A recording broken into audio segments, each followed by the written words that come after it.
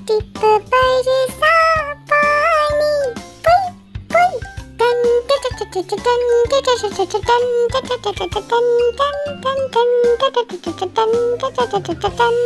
Ton ton ton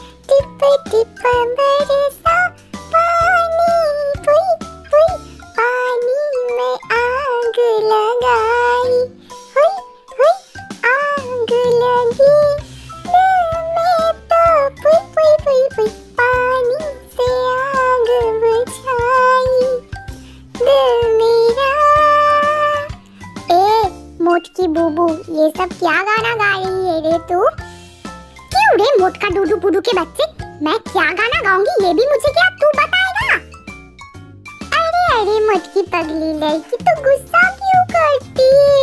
है मैं तो बता रहा था, तू बहुत रोमांटिक गाना गा रही थी।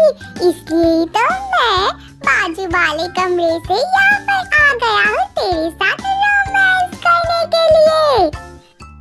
आह, मोटका तुम भी ना कैसे कैसे बात बताती रहती हो। मुझे शर्म लगती है। मोटकी को देखो तो सही। इतना साल से मेरा सर खा रहा है तब इसे शर्म नहीं आती है। और जब मैं बता रहा हूँ तब इसे शर्म आती है।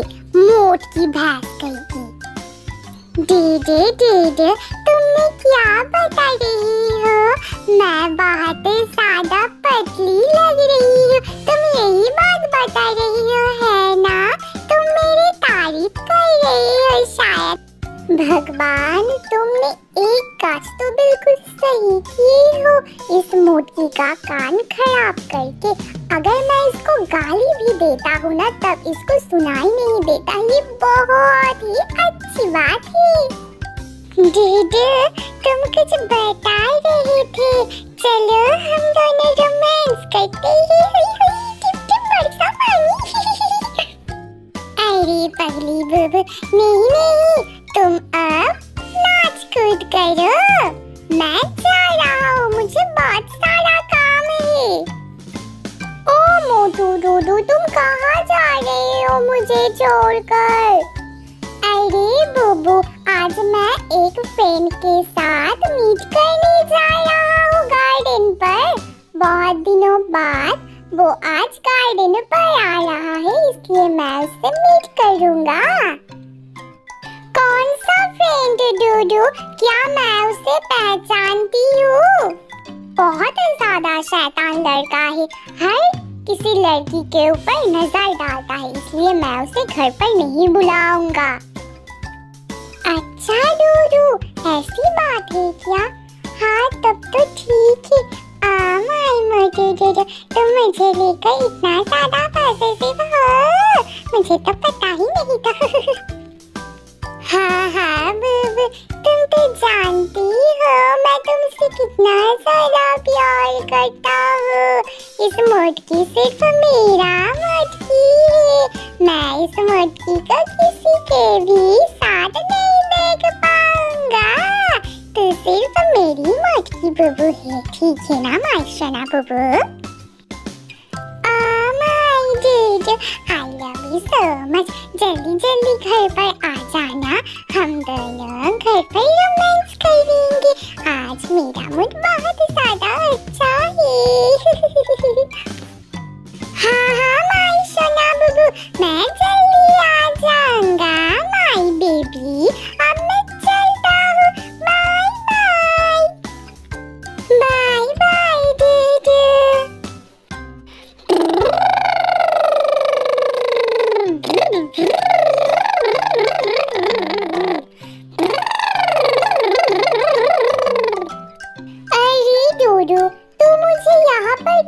बुलाया मैं तेरे घर पर ही तो जा सकता ना। अरे नहीं रे, मोटी बुबू बहुत ज़्यादा घटिया लड़की है, तुझे तो पता है ना। नहीं नहीं डूडू, तू बुबू के बारे में ऐसा बात क्यों कर रहा है? बुबू तो अच्छी लड़की है, वो ज़्यादा थोड़ी नखरे करती है, लेकिन तुझसे तो बहुत ज़्यादा प्यार करती है ना।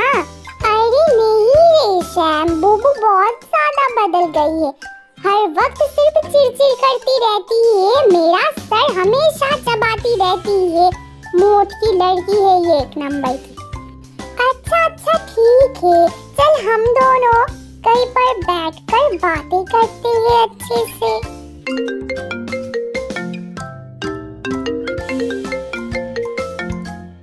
ओ नो, डूडू तो अपना फ़ोन घर पर ही भूल गया है। शायद डूडू बाजू वाले पार्क में गया है। मैं वहीं पर चली जाती हूँ। फ़ोन देकर ही चली आऊँगी। लेकिन डूडू ने तो मुझे बताया उसका फ्रेंड अच्छा नहीं है। जो भी हो, मैं तो डूडू के पास जा रही हूँ। उसका फ्रेंड क्या कर लेगा, कुछ भी नहीं कर पाएगा। मैं बस यूँ ही जाऊँगी और यूँ ही आऊँगी।